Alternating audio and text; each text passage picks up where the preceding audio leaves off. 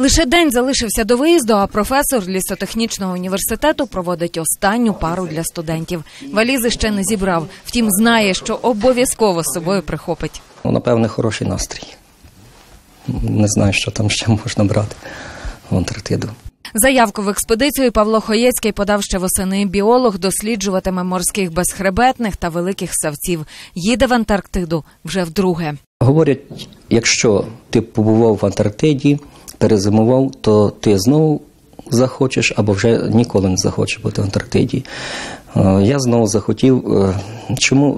Ну, це інший світ. Студенти професора не бачитимуть цілий рік, проте пишаються, що знайомі з таким викладачем. Це насамперед практика Це практика, тобто теорія, теорія, але поки не побачиш то все вживу, то я думаю, знання нічого не варті без практики. Усього в полярній експедиції 12 учасників. Дев'ять із них на континент їдуть повторно, тож зібралась професійна команда. У каждого своя работа, понимаете? Это у метеорологов своя работа, вести непрерывные наблюдения, у геофизиков свои наблюдения, у врача понятно какая работа, у доктора, э, у повара своя работа. Помимо этой работы вот, э, индивидуальной, к- еще много работы такой общестанционной.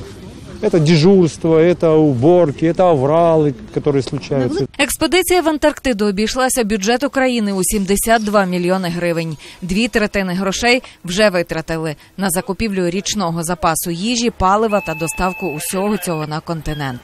Завдяки тендерам заощадили 15 мільйонів гривень. Їх скерують на капремонт станції Вернацького.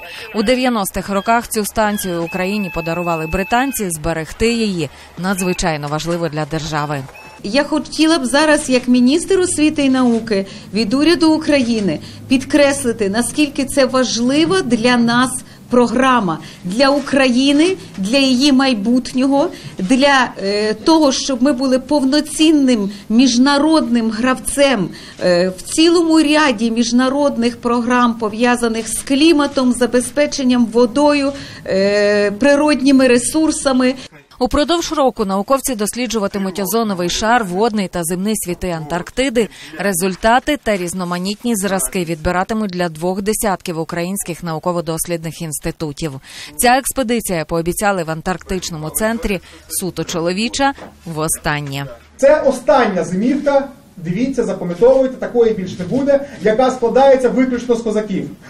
От, е, ми, ми, повертаємо, ми повертаємо практику гендерної рівності.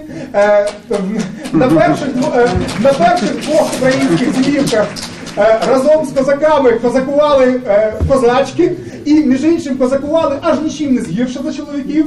От, давали блискучі наукові результати. За тиждень полярники дістануться холодного континенту, де й залишаться на цілий рік. Ірина Панчишин, Юрій Олійник, Західнет новини.